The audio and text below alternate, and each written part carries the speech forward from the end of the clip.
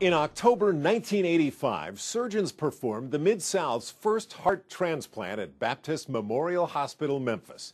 In the nearly 25 years since, Baptist has done more than 200 additional heart transplants, giving seriously ill patients another chance at life. In our cover story, Rod Starnes looks at how advances in transplant related technology are helping people live longer, better lives. Albert McKay admits he didn't know a lot about heart health as a younger man. His brother died of a heart attack when he was just 42. McKay suffered a heart attack of his own in his mid 40s, and his condition didn't improve. And uh, eventually, my heart problem uh, deteriorated, even with a pacemaker, um, and just, you know, it was just downgraded. Um, I was working one night and uh, felt I was really, really, really sick, and I said I need to go. I need to go take care of myself today. And uh, that night, I went into the hospital. I left work, went to the hospital, and um, I didn't know if I was going to leave there that night. In fact, I didn't. He underwent surgery, but his heart continued to fail. That helped put him on the waiting list for a transplant. But then his worry was finding a suitable organ donor because of his rare blood type. Finally, in 2004, after months of waiting, his cardiologist brought him some good news. One night he came down uh, in the, uh, you know, in the hospital and he said, well, you know, I'm going to have to go find your heart myself.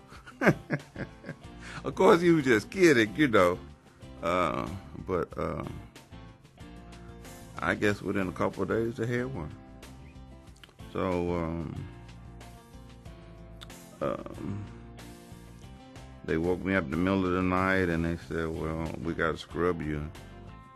And I just scrub, okay, go do what you're going to do. And then they said, we found a heart. And man, I'm in water, you know, tears, and I thought it was a joke. McKay received his transplant at Baptist Memorial Hospital, Memphis. Baptist Memphis is the only hospital in the Mid South performing adult heart transplants. Doctors there perform about 15 transplants a year. The program's one year survival rate is more than 90%, which is above the national average.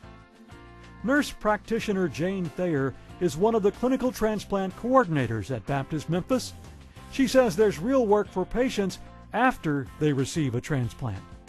We uh, sit down with our patients and try to help them identify what it is they would like to achieve uh, in life after the transplant. We help them uh, identify goals that they haven't reached or uh, you know, help them decide what they want to achieve with this second chance at life. There's still a challenge for the 108,000 people on the transplant list right now, and the health professionals like Thayer who are trying to help them. And that's the shortage of available organs. But the sad fact is that about 17 patients die each day waiting for an organ donation. So we would like to see this lower see this number lowered. Albert McKay agrees and hopes more people will become organ donors, giving others like himself a second chance. For Smart Medicine, I'm Rod Starnes.